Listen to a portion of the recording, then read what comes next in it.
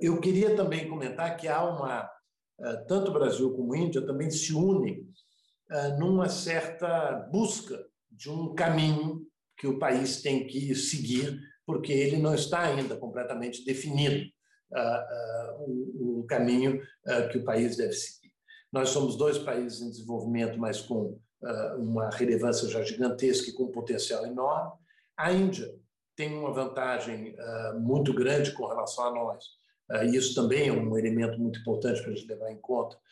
que é a questão do bônus demográfico. Né? O Brasil, dependendo do autor, nós estamos no meio ou até já no final do nosso bônus demográfico, que é uma situação muito complexa,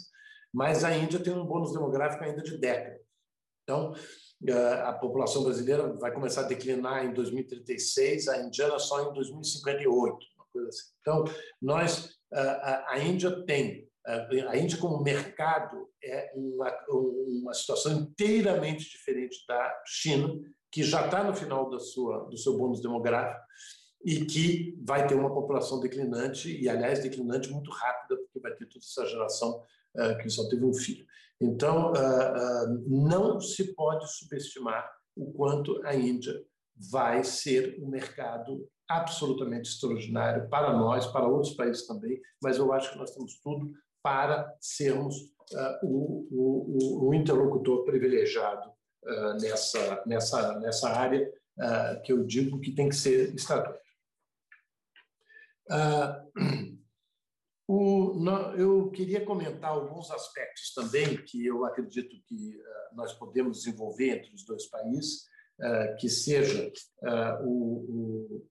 por exemplo, a, questão de que nossos dois países têm uma imensa soft power,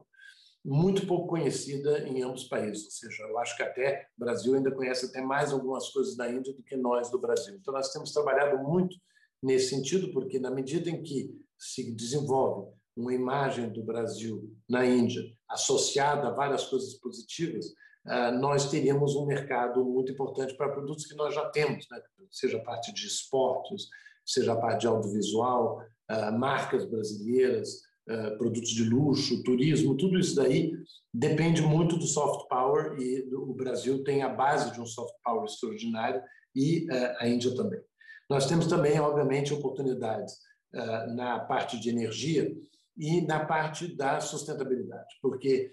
como eu mencionei, nós trabalhamos muito juntos com a Índia na área de desenvolvimento sustentável e nós podemos,